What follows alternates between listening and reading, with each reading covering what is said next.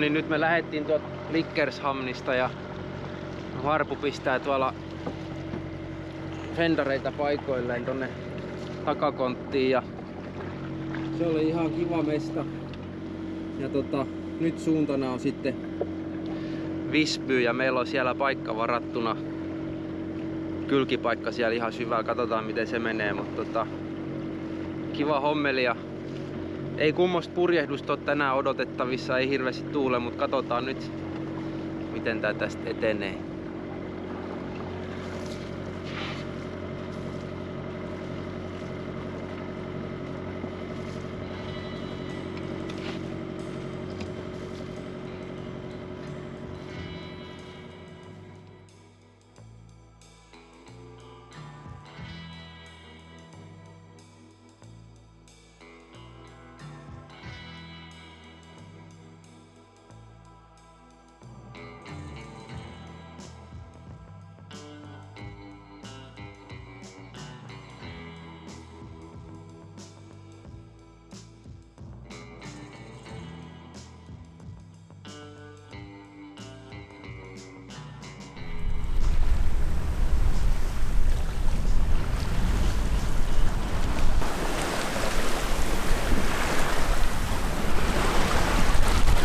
Vauhti on varpun ilmeistä päätellen selvästi alle kahdeksan solmua.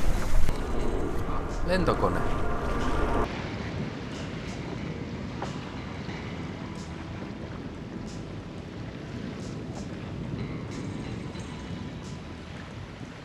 Purjehtiessa on monia tekijöitä, jotka yhteisvaikutuksellaan määrittelevät, miten vene kulkee ja kaikilla säädettävillä säädöillä niihin voidaan vaikuttaa ja optimoida veneen suorituskyky.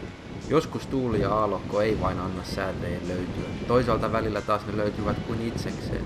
Kaikki elementit sopivat yhteen ja vene alkaa kulkemaan kuin ajatus, kuten tässä hyvin kevyessä tuulessa yli kahdeksaa solmua.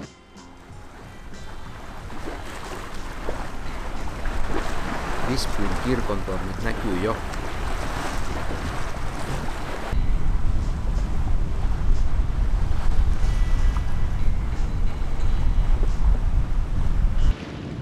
Eiköhän aleta laskemaan purjeita tässä vaiheessa.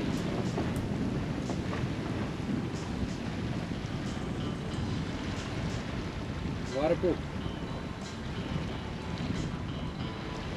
Voitais laskea purjeet.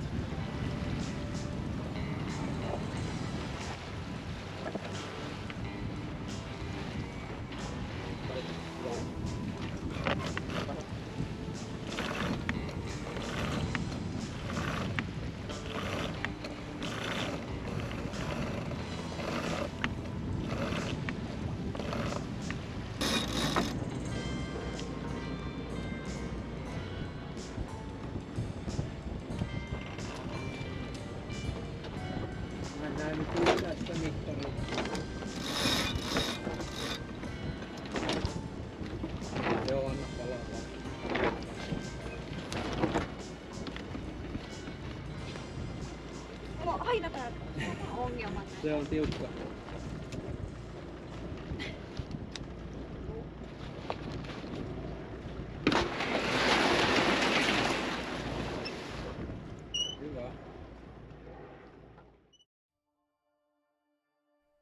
Saavumme Visbyyhyn ja jännitys tiivistyy, koska varasin paikan etukäteen ja nyt ymmärrykseni on lisääntynyt ja tiedän, että tuli otettua se paikka pikkasen ahtaasta paikasta. Mutta katsotaan miten tämä 15,4 metriä sinne saadaan taiteltua.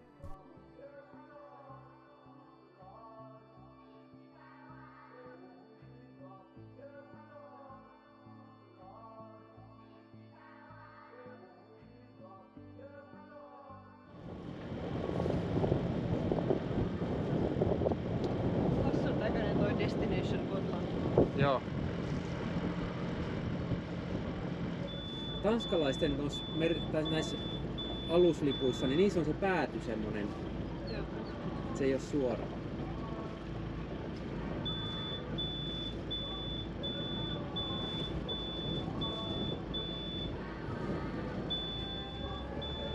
Kiva varmaan tuon laivalla lähteä noin, kun tässä turistit pyörii ympyrää, niin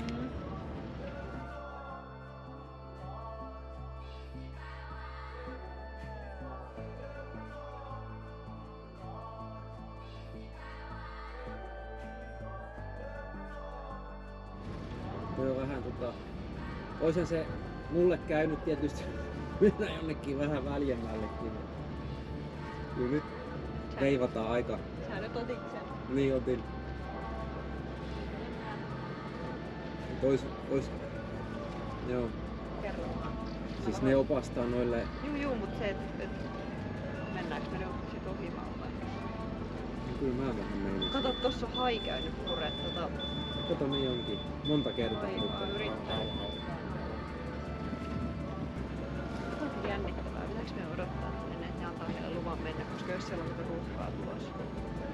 On joku se järjestys, miten ne Ei hoitaa. ne sanonut mitään. Noi kato, noi odottaa paikkaa, kun me ei tiedä minne ne menee. Meillä on paikka niinku tiedossa.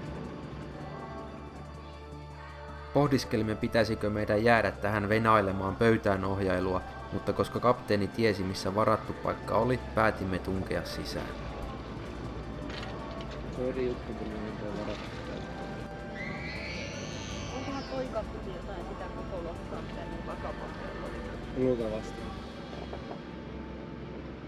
Eli se ei ole tää eka läpi, vaan se on toi seuraava läpi. Missä se meidän paikka on.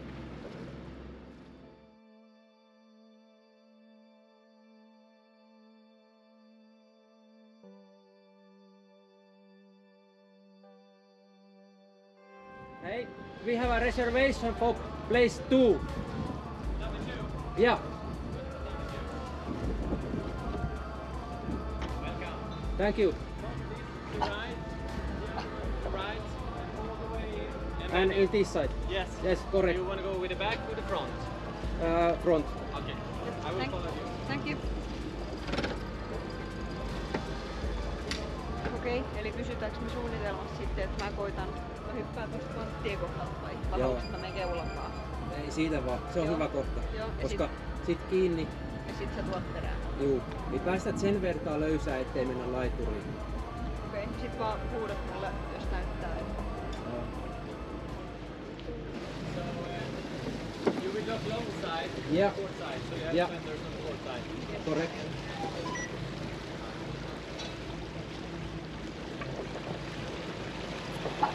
Niin ettäkö on maukkaan ahdas rako.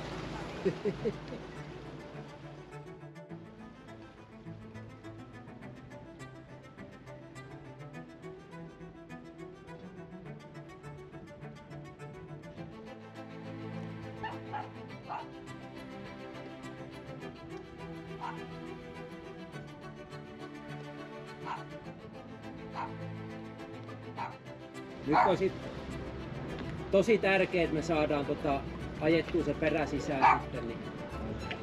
Siellä on tommonen lankku, mikä menee, niin sun täytyy sieltä alta vaan pujottaa se köysi sitten. Häh? Onko?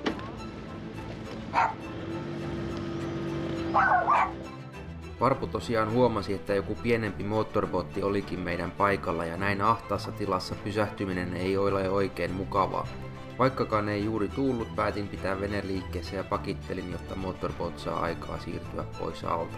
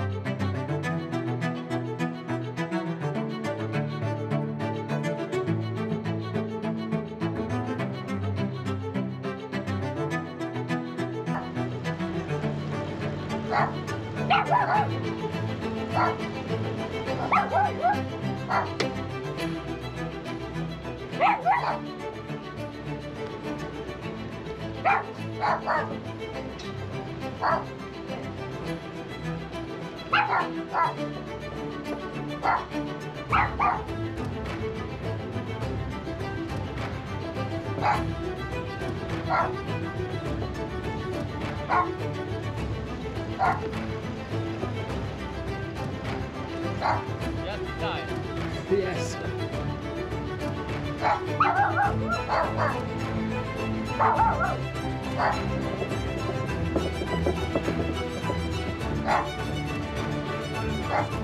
Thank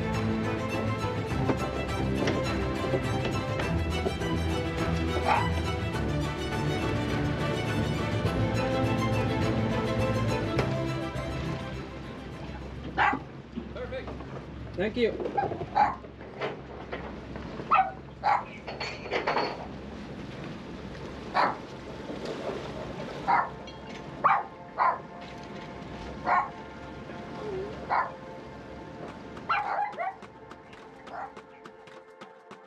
Menestyksekkään rantautumisen jälkeen kapteeni käy kiittelemässä miehistön ja avustajat laiturilla sekä tarkastaa veneen sijainnin ja kiinnitykset, varsinkin oikein toimivat springit, jottei vene valu laituria päin.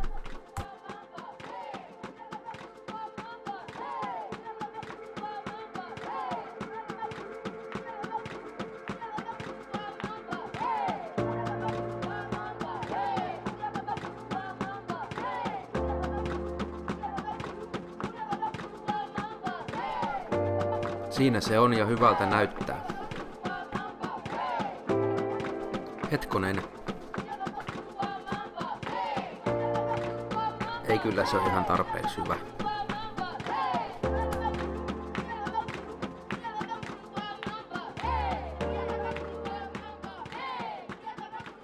Tästä videosta ei välttämättä oikein saa samaa tuntemusta tilan ahtaudesta kuin mitä koimme tuolloin sisäänajossa. Varsinkin kun nuo dingyt pyöri tuolla valtoimenaan perämoottorit ja potkurit ojossa ajotielle. Lähtiessä tämä tu- vähän tuottikin haasteita, kun meillä ei ollut liikeenergiaa mihinkään suuntaan eikä trusteria perässä. Tietysti springamalla saa aina perän irti ja siitä veivamalla pääsee ulos, mutta me päädyimme yksinkertaistamaan manööveriä ja pyysimme satamamestaria olemaan meidän trusteri ja vetämään meidät takakulmasta ulos niin, että saamme veneen omaan kontrolliin ja se toimi erittäin hyvin. Niin. Opastus.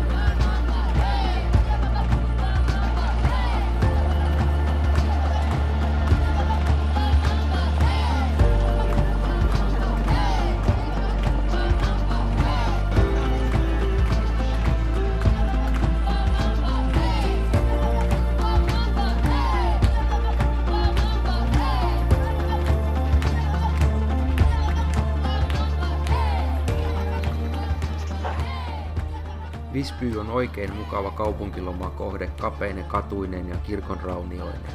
Kiertelimme, katselimme, söimme hyvin ja nautiskelimme.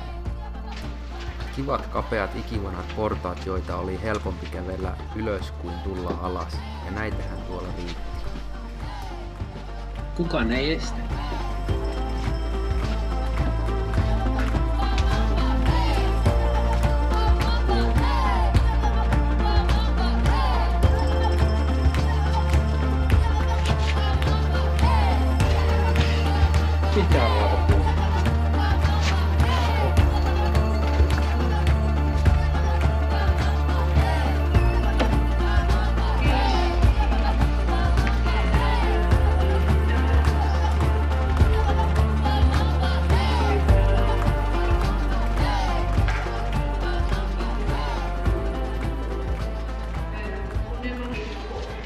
Visbyn historiassa vähän jokainen haara halusi vuoron perään oman upean kirkon ja minulle jäi ymmärrys, että ne tuppasi aina jäämään vähän kesken. Ja sitten alkoi jo uusi projekti.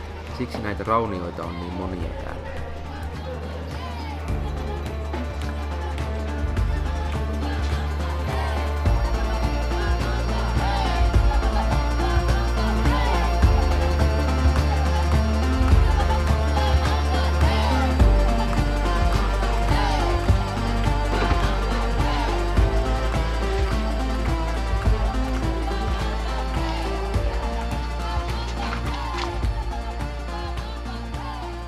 Ensimmäisen yön jälkeen päätimme vielä jäädä toiseksikin yöksi, mutta se tarkoitti, että joudumme vaihtamaan paikkaa.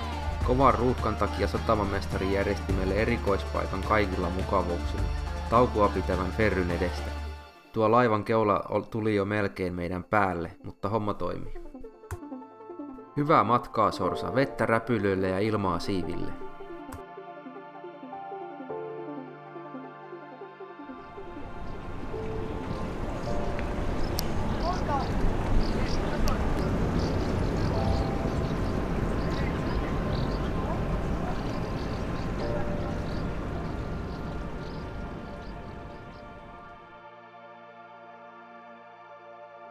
Kiitos kun katsoit tämänkin jakson. Arvostamme sitä kovasti ja jotta et missaa seuraavaa jaksoa, voit tilata kanavan ja napsauttaa sitä tykkään namiskaan.